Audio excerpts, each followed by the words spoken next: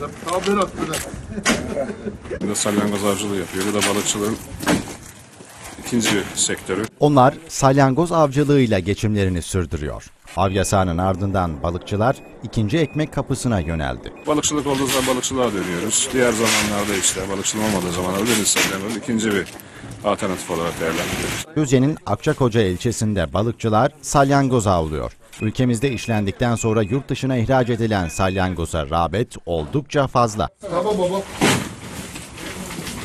Akçakoca Su Ürünleri Kooperatifi Başkanı Mustafa Karakaş, salyangozun iyi bir alternatif olduğunu söyledi. Balıkçıların da talepten memnun olduğunu belirtti. E, Yazın başka yapacak iş olmadığı için yaz ayında sürekli olarak bu iş yapacağız. Hatta kar yağana kadar, ocağa kadar, ocak ayına kadar bu iş devam ediyor.